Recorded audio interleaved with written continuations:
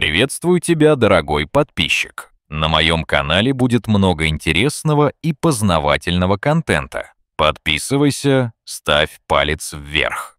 На краю научной мысли открывается мир, о котором мы только начинаем догадываться. Это гипотеза о мультивселенной черных дыр. Эта концепция поднимает множество вопросов о природе реальности, о том, что скрыто за пределами нашей Вселенной. В то же время непонятные сигналы, как исходящие из глубин космоса, забавляют умы ученых и любителей астрономии, поднимая вопросы о том, как живые организмы, такие как мотыльки, используют звезды для навигации.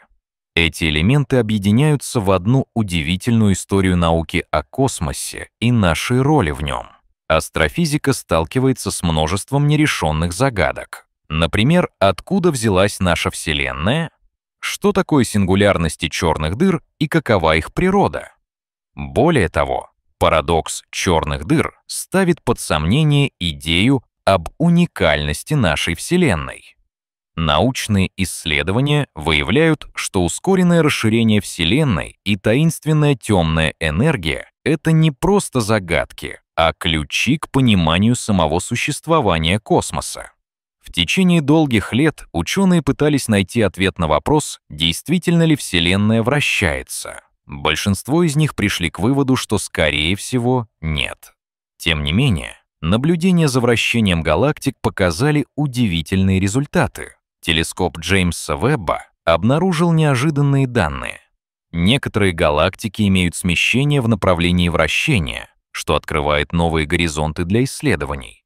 Интересно, что друзья-ученые начали задаваться вопросом, вращается ли Вселенная относительно чего-то большего. Мы можем рассмотреть возможность того, что наша Вселенная может быть частью чего-то более обширного и замкнутого. Кажется, что исследование этой гипотезы может изменить наше представление о космосе так, как мы его знаем. Одно из самых овладевающих направлений исследований стало изучение идеи о Вселенной, находящейся внутри черной дыры. Существуют удивительные аргументы в ее пользу, например, сходство между свойствами черных дыр и масштабами нашей Вселенной. Вращение черных дыр можно использовать для объяснения вращения Вселенной, открывая возможность существования других Вселенных внутри них. Однако в этом контексте возникают вопросы о темной энергии. Она остается необъяснимым феноменом, но гипотеза о том, что вращение черной дыры может влиять на ускорение расширения Вселенной, появилась вот в результате исследований обсерватории Диса, эти наблюдения предполагают, что темная энергия может быть связана с нашим пониманием черных дыр. Когда дело доходит до других объектов в нашей Солнечной системе, такие как Меркурий, возникает множество трудностей. Из-за близости к Солнцу мы имеем ограниченные данные о его поверхности и внутренней структуре. Миссия Бепи Коломбо, целью которой является доставка образцов с Меркурия, сталкивается со сложностями, от необходимости защитить аппаратуру от солнечной радиации до долгих расстояний. Изучение планет выходит за рамки простых наблюдений. Современные научные методы используют сейсмологию, магнитные и гравитационные измерения для изучения структур планет. Создание парных спутников для гравитационных измерений открыло новые возможности для понимания внутреннего строения Земли и Луны. Недавние открытия позволяют ученым разрабатывать новый метод изучения гравитационного поля планет. Используя зонд, который отражает радиосигналы от материнского аппарата, можно создать более детальную карту гравитационного поля планет. По сравнению с прямыми сигналами, этот метод оказывается более квалифицированным и простым в реализации. Миссия ЛИСА — детектор гравитационных волн нового поколения — открывает горизонты для открытий. Она состоит из трех аппаратов, установленных в треугольной конфигурации и расположенных на расстоянии 2,5 миллиона километров друг от друга. После подписания важных документов миссия вступила в новую фазу, обещая новые открытия в области астрофизики. Обсерватория имени Веры Рубин за короткий период обнаружила более 2000 ранее неизвестных астероидов, Семь из них были отнесены к околоземным объектам. и ожидается, что эта работа приведет к обнаружению миллионов новых малых тел Солнечной системы. Но не только планеты и галактики привлекают внимание астрономов. Австралийский радиоинтерферометр ASI-ASI зафиксировал мощный короткий радиосигнал, который первоначально интерпретировался как быстрый радиовсплеск. Позже было установлено, что источником сигнала стал старый американский спутник, но возможные причины, такие как электростатический разряд или столкновение с микрометеороидом, продолжают вызывать интерес. Обсерватория Анита регистрирует радиоизлучение, возникающее при взаимодействии нейтрино с антарктическим льдом. Зафиксированные аномальные сигналы, которые не объясняются известными частицами, могут быть связаны с темной материей. Это открытие может коренным образом изменить наше понимание о структуре Вселенной. Тем не менее, среди всех этих удивительных вопросов существует и менее крупный, но не менее захватывающий. Мотыльки вагонга, мигрирующие на тысячи километров, используют звездную навигацию. Они ориентируются по Млечному пути и магнитному полю Земли.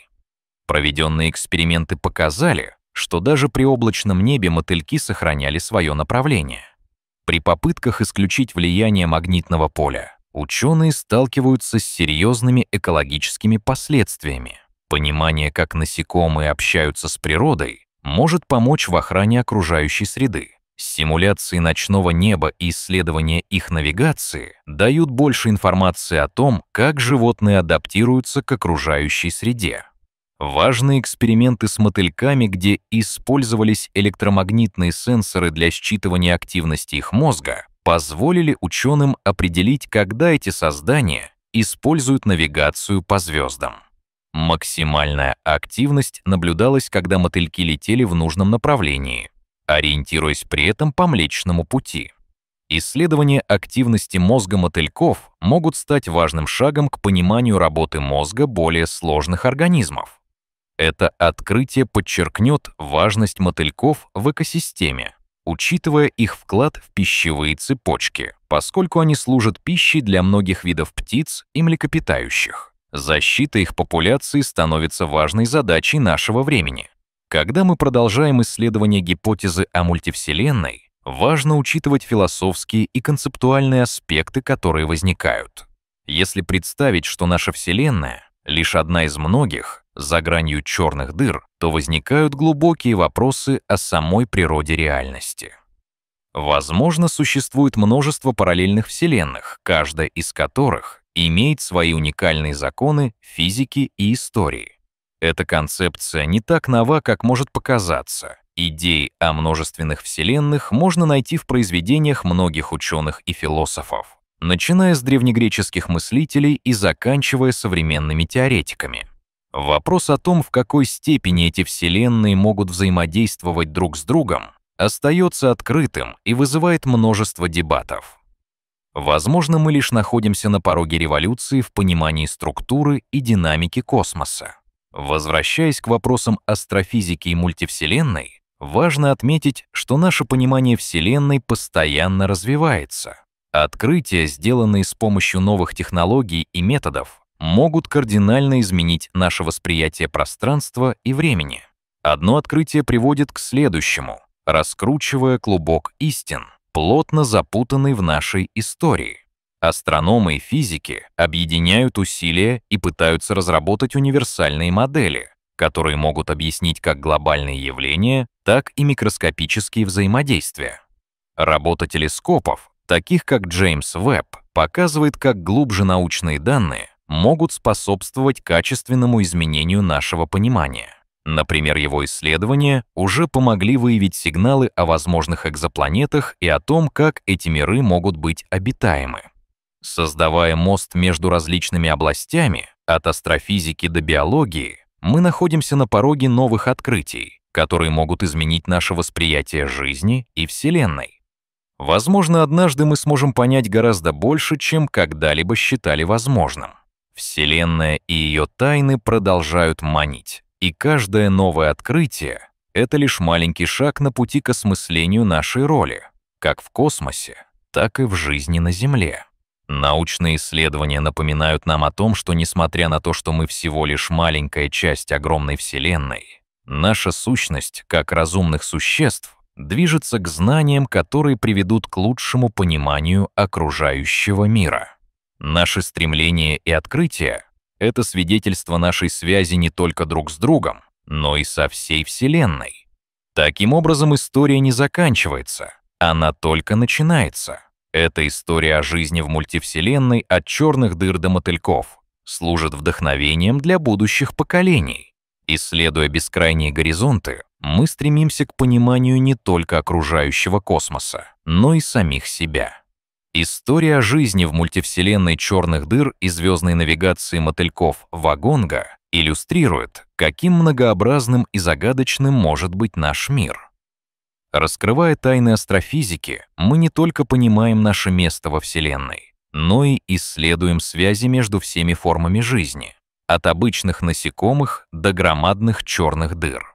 Научные находки, независимо от их масштаба, всегда будут открывать новые горизонты для будущих поколений исследователей.